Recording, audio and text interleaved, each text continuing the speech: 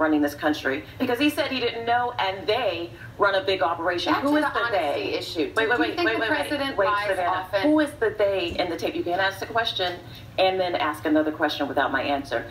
You asked me, do you think he knows? Savannah, slow down. I'm going to ask your question. Don't worry, I'm here. I've got all the time. Yeah, no, but I'm- Yeah. So you don't have to ask 10 questions in one second. It's okay. First of all, Yeah, let's talk about um, the tape of the Situation Room. You Yeah, you, talk you about talked it. about it. You obviously want to talk about I it. do. John Kelly inside the Situation Yes. Room.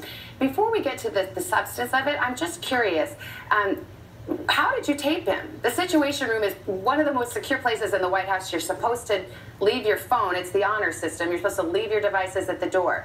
Did you I'll just- carry a phone, a recording device? How did you do it? I'll just leave that to your imagination. A I will say this. Are you concerned at all about any legal consequences for taping They in be Situation concerned. Room? But They are you concerned? Are No, you? Absolutely not, because I have protections. The moment that I've decided to blow the whistle on a lot of the corruption going on in the White House, there are protections that are afforded to me.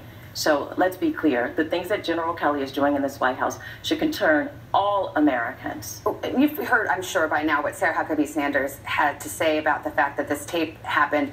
What does it say about your own integrity if you're going around taping General Kelly in the Situation Room, which is supposed to be mm-hmm. secure, taping President Trump at least once, and I think you've indicated more than that?